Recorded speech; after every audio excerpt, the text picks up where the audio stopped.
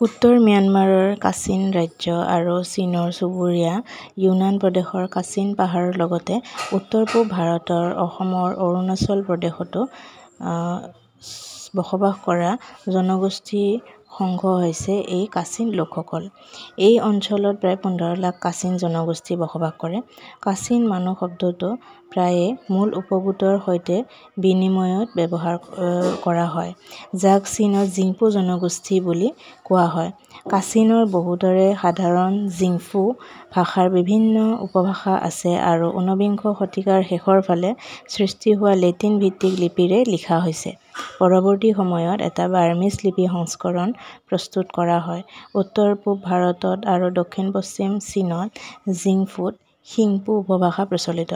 Kachin হৈছে এক জনগোষ্ঠী যিয়ে ওপৰৰ ওপৰত সোমাই থকা ভূখণ্ড আৰু সংহত সামাজিক গাঁথনিৰ সৈতে বিভিন্ন ভাষিক গোটক সামৰি লৈছে। কাচিনৰ সমসাময়িক ব্যৱহাৰ ছটা জনগোষ্ঠীয় গোটৰ সৈতে জড়িত: ৰাৱাং, লিচু, জিংপো, জাইৱা, লাচি বা লাচিক আৰু লৱা মাৰো। কিছুমান সংজ্ঞাই কাচিন আৰু চিয়ানটাই জনগোষ্ঠীক পৃথক কৰে যদিও কিছুমান কাচিন লোকে সাংস্কৃতিকভাৱে চান হৈ বংশভিত্তিক জাতিগত পৰিচয়ৰ ধাৰণাটো অতি সৰলতা প্ৰদৰ্শন কৰিছে।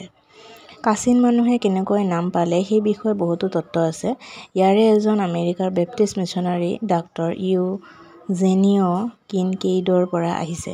ম্যানমাৰৰ উত্তৰ অংশত উপস্থিত হোৱাৰ সময়ত তেওঁ প্ৰথমে গহকিয়েং লোকসকলৰ সৈতে সাক্ষাৎ কৰিছিল। তেওঁলোক কোন বুলি সুধিলে তেওঁলোকে উত্তৰ দিলে যে তেওঁলোক গহকিয়েঙৰ পৰা অহা গাঁৱৰ মানুহ। সেয়েহে তেওঁ নিজৰ টোকাত গা হক্যুং লিখিছিল। ইউৰোপীয় লেখকসকলে ওঠৰশ নিৰানব্বৈ চনলৈকে কাচিনসকলক কাখিয়েন বুলি কয়। The great queen is coming ওঠৰশ নব্বৈ নামৰ কিতাপখনত মেজৰ ইচি ব্ৰং আছিল প্ৰথমজন ব্যক্তি যিয়ে ৰোমান লিপিত কাচিন ব্যৱহাৰ কৰিবলৈ আৰম্ভ কৰিছিল বুলি বৰ্ণনা কৰা হৈছে।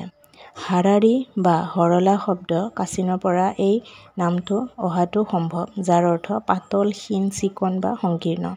প্ৰথম এংলো-বাৰ্মা যুদ্ধৰ পিছত ওঠৰশ চৌব্বিশ চনত বাৰ্মাত ব্ৰিটিছৰ শাসন আৰম্ভ হয়। কাচিন ৰাজ্যৰ দূৰৱৰ্তী অৱস্থান আৰু ইয়াৰ ৰুক্ষ ভূ-প্ৰকৃতিৰ বাবে অৱশ্যে কাচিন জনগোষ্ঠীসমূহ ব্ৰিটিছ শাসনৰ দ্বাৰা তুলনামূলকভাৱে অস্পৃশ্য আছিল।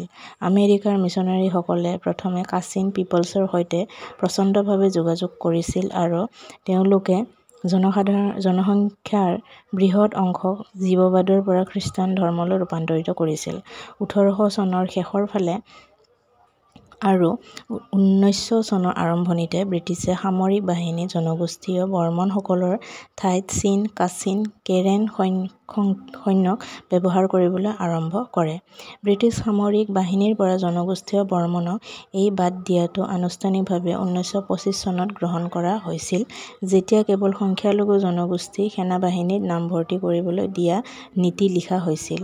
সামৰিক গঠনৰ এই পৰিৱৰ্তনৰ বাবে বহুতো জনগোষ্ঠীয় বৰ্মনে সংখ্যালঘু জনগোষ্ঠীক ব্ৰিটিছ অত্যাচাৰৰ সৈতে জড়িত কৰিবলৈ আৰম্ভ কৰে।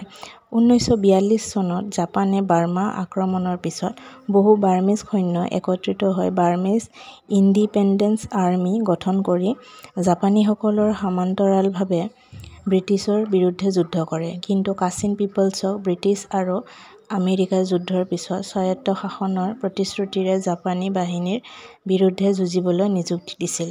দ্বিতীয় বিশ্বযুদ্ধৰ অন্ত পৰা আৰু অঞ্চলটোত ব্ৰিটিছ শাসনৰ অন্ত পৰাৰ পিছত ঊনৈছশ সাতচল্লিশ চনৰ পাংলং সন্মিলনত কাচিন জনগোষ্ঠীয়ে ইউনিয়ন অৱ বাৰ্মাত যোগদান কৰিবলৈ সন্মত হয়। সন্মিলনত কাচিন, চীন আৰু চিয়ান নেতাসকলক একত্ৰিত কৰা হৈছিল লগতে সেই সময়ৰ বৰ্মন নেতা জেনেৰেল আং চান। তেওঁলোকে একেলগে পাংলং চুক্তিত স্বাক্ষৰ কৰে যিয়ে জনগোষ্ঠীয় সীমান্তৱৰ্তী ৰাজ্যসমূহক স্থানীয় প্ৰশাসনত স্বায়ত্তশাসন আৰু ৰাজ্যৰ দ্বাৰা সম ব্যৱহাৰ প্ৰদান কৰে। জেনেৰেল আং চানৰ হত্যাৰ ফলত অৱশ্যে চুক্তিখনৰ প্ৰতি চৰকাৰী সমৰ্থন হ্ৰাস পোৱাৰ লগতে কাচিন পিপলছৰ ফালৰ পৰা বিশ্বাসঘাতকতাৰ অনুভূতিৰ সৃষ্টি হয়। ঊনৈছশ ষাঠি চনৰ পঁচিশ অক্টোবৰত কাচিন জনগোষ্ঠীৰ অধিকাৰৰ পোষকতা আৰু সুৰক্ষাৰ বাবে কাচিন স্বাধীনতা সংস্থা অৰ্থাৎ কে আই অ' গঠন কৰা হয়। আৰম্ভণিৰ এবছৰৰ পাছত কাচিন স্বাধীনতা সেনা অৰ্থাৎ কে আই এ বা কে আই অ'ৰ সশস্ত্ৰ শাখা হিচাপে গঠন কৰা হয়। প্ৰথম অৱস্থাত কে আই এ এশ জন সদস্যৰে আৰম্ভ কৰিছিল যদিও কে আই এৰ সেনাপতিসকলৰ পৰা বৰ্তমানৰ প্ৰতিবেদন অনুসৰি দহ হাজাৰ জন সৈন্যবাহিনীৰ সৈতে আৰু দহ হাজাৰ জন সংৰক্ষিত সেনাবাহিনী আছে। কে আই অ' আৰু কে আই এ দুয়োটাই চীনৰ সৈতে জেট, কাঠ আৰু অন্যান্য কেঁচামালৰ ব্যৱসায়ৰ জৰিয়তে নিজৰ অভিযানক সমৰ্থন কৰে।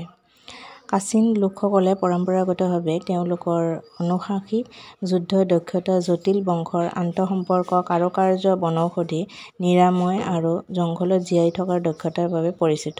শেহতীয়া দশকবোৰত এনিমিষ্ট আৰু বৌদ্ধ বিশ্বাসক এৰি দিয়া হৈছে আৰু এতিয়া বিভিন্ন ক্ষেত্ৰত খ্ৰীষ্টান ধৰ্ম আঁকোৱালি লোৱা হৈছে। এটা সূত্ৰৰ মতে, প্ৰায় দুই তৃতীয়াংশ কাচিন লোকে নিজকে খ্ৰীষ্টান বুলি পৰিচয় দিয়ে, আনহাতে আন এজনে এই সংখ্যা নব্বৈৰ পৰা পঁচানব্বৈ শতাংশ বুলি কয়।